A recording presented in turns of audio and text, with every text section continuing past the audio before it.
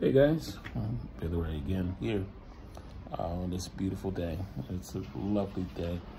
Um, so I'm gonna switch gears, talk about, um, well, uh, I'm a uh, bus driver now. And uh, and I had to get a test for um, uh, the drive. And um, they said that I had sleep apnea and um, two nights ago uh, I have been dreading this, so they had to put the, the stuff on your nose and all that kind of stuff. And I was dreading it, you know, because it didn't seem normal, natural, that kind of thing. But, um, long story short, um, I had a good night's sleep. I had seven hours of sleep. I had not slept for seven hours with a problem.